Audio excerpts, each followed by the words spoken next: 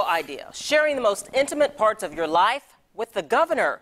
But in just a matter of weeks, the Facebook group Periods for Pence has gained national attention. And now they are doing even more than calling the governor's office. RTV6's Melissa Mahadeo joins us live from the State House with this story. Melissa? Yeah, Todd and Erica, the ongoing message of that group is clear. They want that new abortion law reversed. At the very least, they want the governor to listen to their complaints and issues with it. But the way that they are going about getting his attention, that has evolved. Once upon a time, groups would hold rallies at places like the State House to get someone's attention and spark change. Now they color.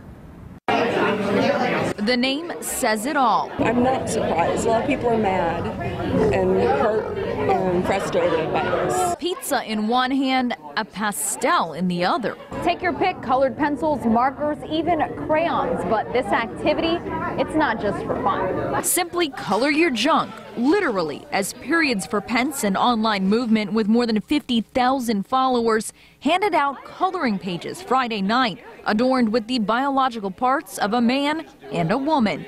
It's the latest movement to get Governor Pence's attention on the controversial abortion law. Essentially, if you want to make decisions about women's health care, then you're going to have to deal with women on their periods, and that's kind of the point. Men, women, and even children coloring their hearts out. I'm glad that so many people came out. Hoping the bright blots He's not going to be able to ignore it. will lend light to their point of view. I don't believe that anybody has the right to tell me what to do with my body.